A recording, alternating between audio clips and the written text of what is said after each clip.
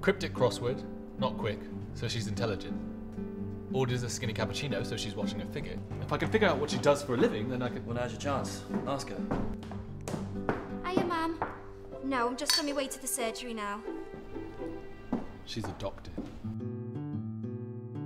Got to go. I'm with a um, patient. What can I do for you? £50 for five minutes work, not to be sniffed at.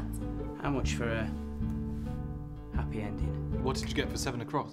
Oh, I'm sorry. I'll move. Uh, no, it's it's fine. Really, I could do with a little help. You're a doctor. I overheard you talking to your mother on your telephone. Oh, yeah.